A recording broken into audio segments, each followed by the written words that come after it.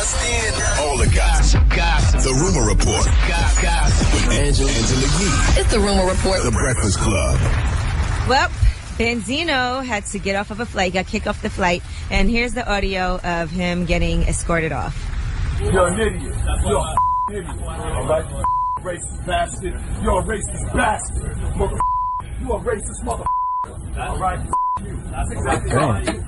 Right? That's what was that first class. All right, so Everybody on the plane said it wasn't our fault. He's yelling, I ain't do nothing wrong but sit in first M F in class, effing idiot. So why'd they kick him off? Well, apparently, uh, because the whoever was the attendant on the flight questioned him about his seat. I guess he was in first class, and that's when he just started going crazy and cursing and ended up getting kicked off the flight. Well, uh, I have sources who work at that airline, and they say the incident had nothing to do with racism. They say Benzino wanted a neck travel pillow, and they refused to give him one on the grounds up. he doesn't have a neck, and he had a fit.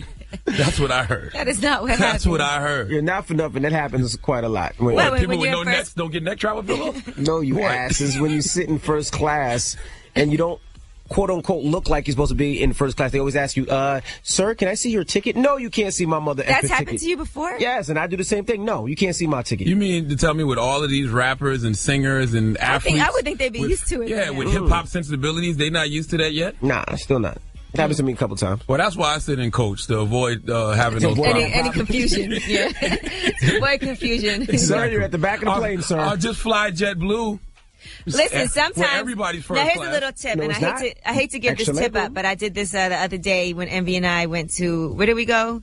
Houston. Houston, yep. Yes, you can uh, actually upgrade from coach to first class if you do it within 24 hours for like eighty dollars. Absolutely. So instead of paying two thousand dollars for a flight, you can pay the coach price, and then 24 hours before, if there's seats left, you can upgrade for Yeah, but that, that's according to the airline and availability, though, right? Well, Yes, yeah, it but is. it's worth Oh. a shot.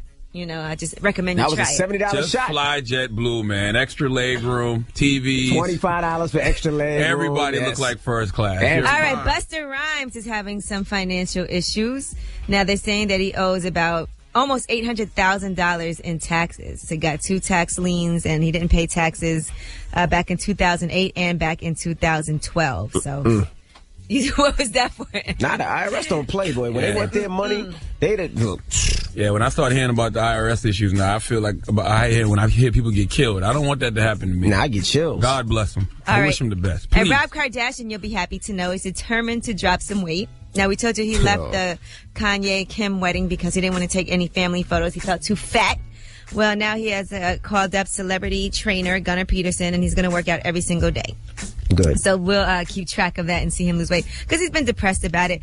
And I talked about this this morning, but in case you didn't see, 50 Cent did throw out the first pitch No. for the Mets. And Horrible. You could tell 50 never really played sports as a kid. they're saying right now this could be considered the worst ceremonial first pitch in the history of the Mets, surpassing uh, the Howard Stern producer for that honor. and he's not a 50 actually did. player, 50 actually did an interview right afterward, and he said 50 Cent is the best. Curtis Jackson, I don't know what's the matter with him. So he's saying that was Curtis Jackson that actually threw that pitch. But you know, you never see 50 playing any sports. Like, there's never like a pickup mm-hmm. game and you see 50 playing basketball or you never see him playing softball. You see him doing pull-ups. Yeah, Yeah, he, can always box. look in shape. He's he a- can fight. Yeah, But he- bodybuild, he, fight. He can't throw a pitch, though. Oh, they should have let him shoot. There's no baseball fields in Southside Jamaica, Queens. He'd So definitely hit the catcher if he was shooting. definitely hit the- hit the catcher. Yeah, but your son Logan could definitely could definitely beat 50 at a game of baseball. Absolutely. All right, and that is your rumor report. I'm Angela Yee.